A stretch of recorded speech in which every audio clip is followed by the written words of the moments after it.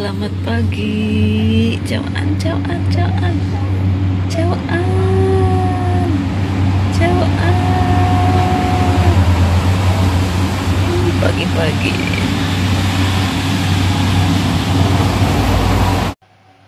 Nah, ini guys, kasih airnya 4 liter air ya.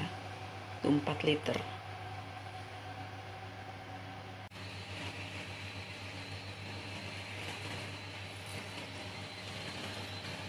Nih, tunggu airnya mendidih dulu ya, guys. Setelah mendidih, nah kita masukkan bahannya satu per satu. Nih, aku masukkan dulu ayam. Kita tunggu airnya mendidih dulu ya, guys. Nah, setelah airnya mendidih, baru bahan-bahannya dimasukkan gitu. Nah, kita masukkan ini apa? Tadi ayam, sekarang beras gitu ya.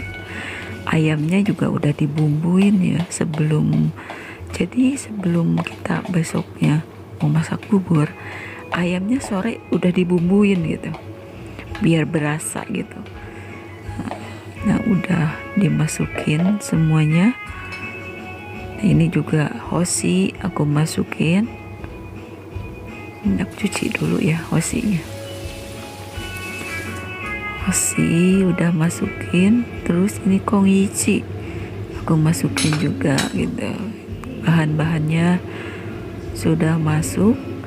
Ini aku coikon coikonnya diiris ya jangan sampai satuan gitu. Tapi diiris-iris gitu. Paling setengah jari gitu panjangnya itu. Nah terus jahenya dua irisan udah masuk. Nanti kita tunggu mendidih.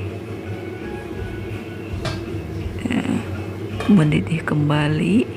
Nah di sini sangat penting kita mengenai api. Bila mana udah mendidih tunggu 2 menit 3 menit ya. Itu apinya dikecilkan. Ya, dikecilkan apinya biar nanti buburnya itu nggak berkerak gitu Nah, ini eh, itu juga tutupnya jangan sampai tutup rapat. Siapan masak bubur udah selesai ya.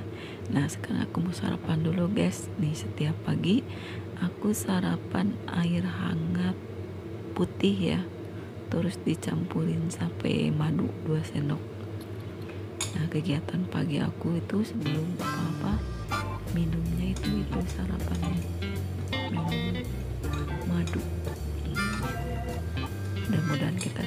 Ya guys. Terjauh dari segala sekarang yang lagi ada virus corona. Mudah-mudahan kita selamat selamat dan sehat selalu ya. Amin. Ya Allah ya robbal alamin. Bismillah. Waktu jangka lamanya masak bubur itu satu setengah jam dengan keadaan api kecil. Biar buburnya itu lembut tapi nggak hancur lembut tapi nggak hancur. Udah jadi guys ini buburnya ya. Coba lihat ini buburnya. Eh, nggak hancur di beras gitu maksudnya masih kayak ada nasinya itu gimana? Pokoknya jangan sampai hancur gitu. Kalau hancur kan kelihatannya gimana gitu ya ini tuh rasanya enak guys yes, hasil buburku ya. Sangat disukai banget sama si bos. Terima kasih ya kawan-kawan sudah menyimak video saya. Nah selamat mencoba dan selamat menikmati. Wassalamualaikum warahmatullahi wabarakatuh